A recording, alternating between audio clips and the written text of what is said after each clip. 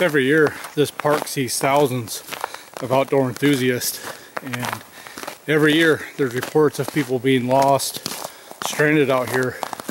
Even though there's a well-established trail here, people wander off the trail looking for berries, following wildlife, whatever it may be, and they end up getting lost, maybe even injured. So one of the things I want to do while I'm out here today is kind of get off the beaten path, look around, see what kind of resources are out here. Uh, maybe someone will watch this and be out in an area similar to this and we can learn some of the resources, some of the things we can do if we were lost or stranded out here. So right now I'm still on the established trail, but I'll find a good spot up here somewhere, get off the trail, and see what we can find.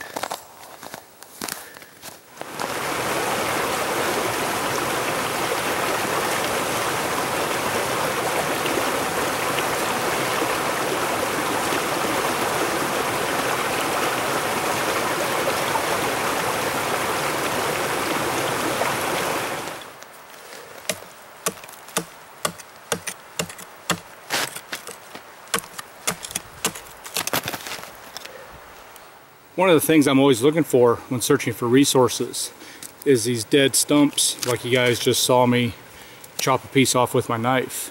And what I'm getting there is a small piece of fat wood. And you can see in there this wood is ingrained with pine sap. What happens is when the tree dies gravity takes over the sap makes its way down towards the bottom and ingrains itself in the wood.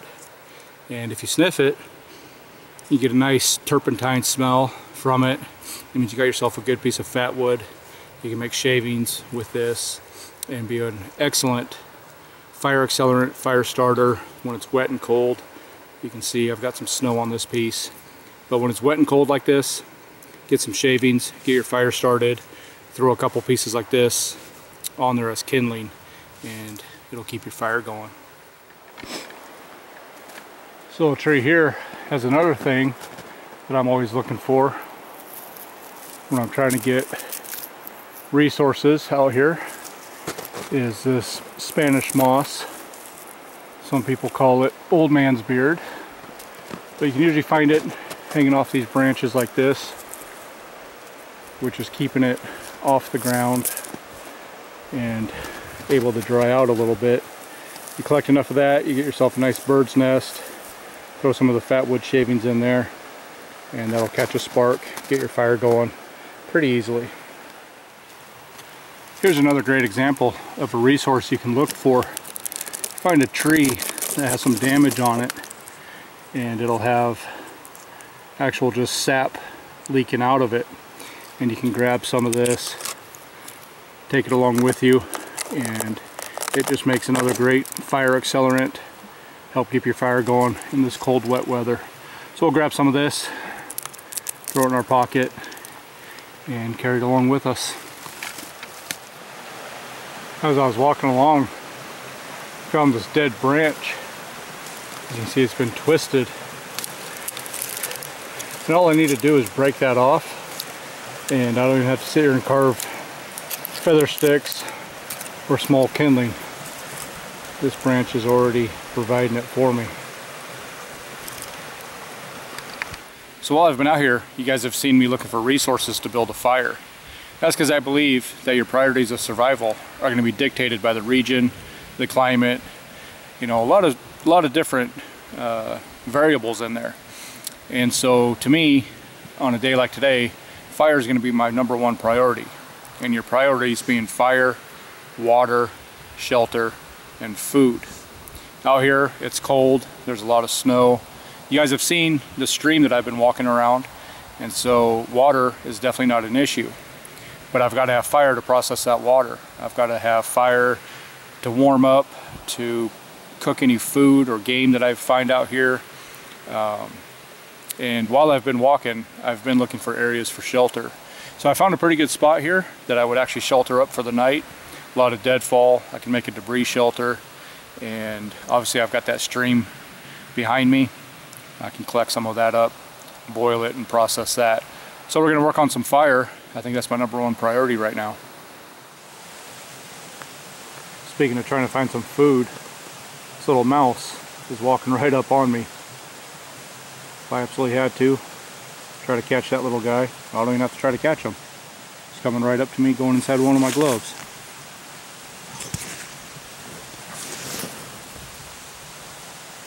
Definitely wouldn't be hard to catch today.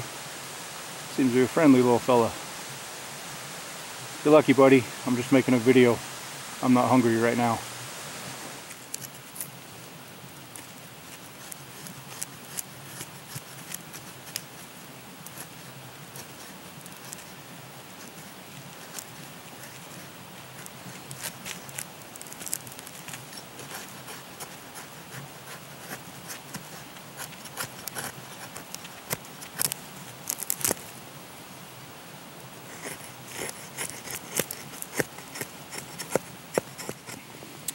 I pulled a little piece of jute twine out of the back of my pack and I use a piece of hacksaw blade for my fire striker.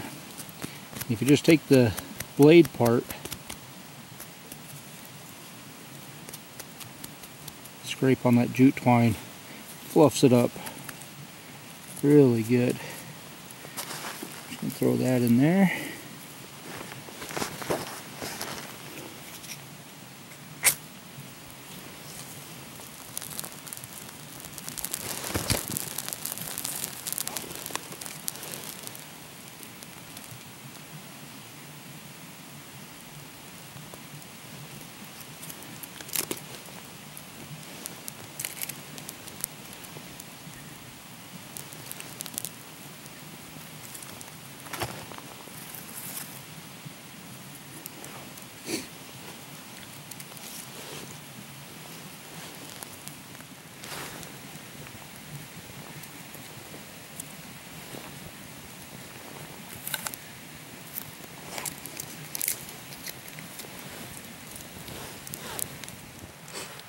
Now that we've got the fire going and a way to process water, and my mouse ran off, my next priority would be food. And I found these holes by this tree. I actually had a cheese stick with me today. So we're gonna go ahead try to bait these little guys out. Some cheese. No matter what lives in this hole. Maybe they'll come out and they're hungry.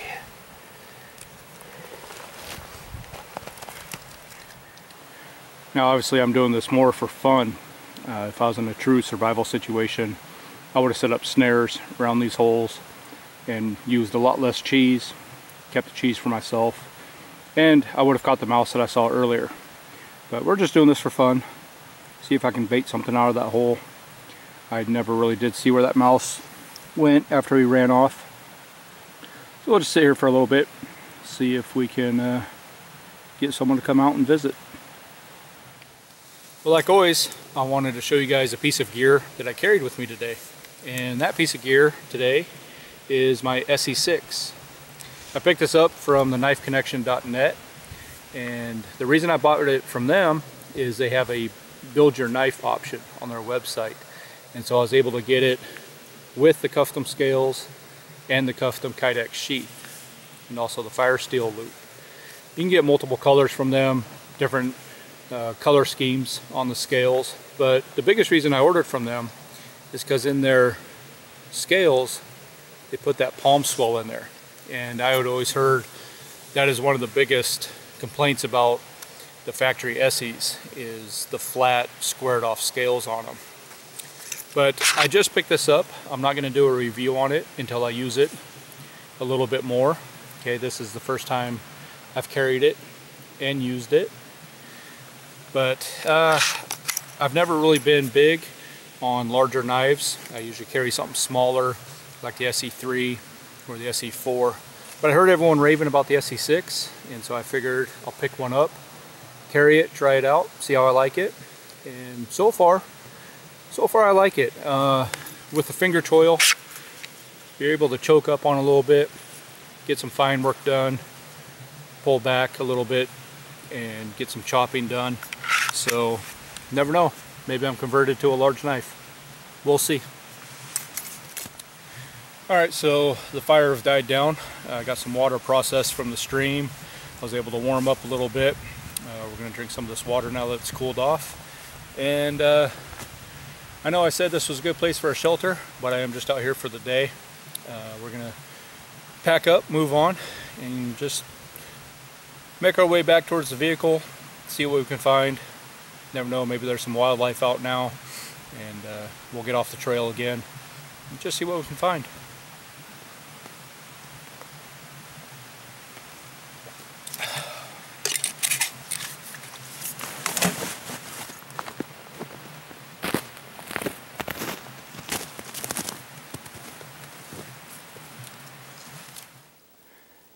Just off to the side of the trail saw this little bird's nest. And if I was still looking for resources for fire I would take that. And just like we make with Spanish moss or tinder it's exactly what it is is a bird's nest pre-made for us. But pretty much done for the day. Little bird might come back to that in the spring so we're gonna leave it there for them I just spooked up some whitetails. Let's see if we can get a little closer, get them on camera.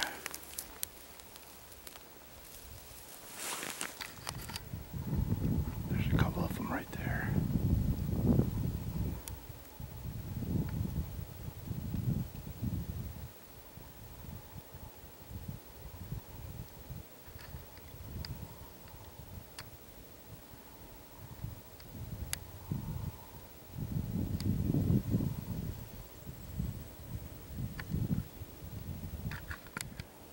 Cool is that you guys? I was able to walk up to about 30 yards of these whitetails and they keep getting a whiff of me and they'll get spooked and run a little bit but they keep coming back towards me checking me out see what I'm doing but uh, they're just hanging out that's really cool to see Well, I'm back here at the vehicle, back in civilization. So that was a fun hike, guys. Um, as I was out today, you know, we talked about it, uh, setting up priorities of survival, uh, seeing what kind of resources we can come up with. The entire time I was out there, I had uh, pretty deep snow, had a couple streams near me, so water was never a high priority. Um, to me, out here today, fire was the number one priority. Um, I would have had to process water if I got it out of the stream or melt snow. Uh, warm myself up. I could have caught that mouse. I could have cooked him over the fire. Um, while I was burning the fire, I could have made shelter and found food. And that's something you guys always want to look at if you get in a survival situation is your survival priorities. You know, obviously if it was 100 degrees, um, water would probably be my number one priority before fire or shelter. But then again, depending on where you find your water, you've got to have fire to process that water. But in dire need, you can drink unprocessed water. You're taking a risk of Giardia or any other uh, pathogens you might get from that water. So fire to me is always really high on the priority list. Um, water definitely being number two, if not number one. So you guys, we had a great day out here today. I appreciate you watching, and I hope to see you soon. Go out and live.